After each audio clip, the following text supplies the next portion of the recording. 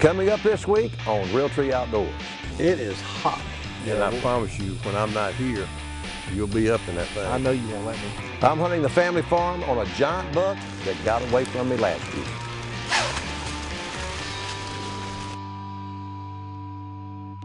That's him right there, coming in the far end of the thing.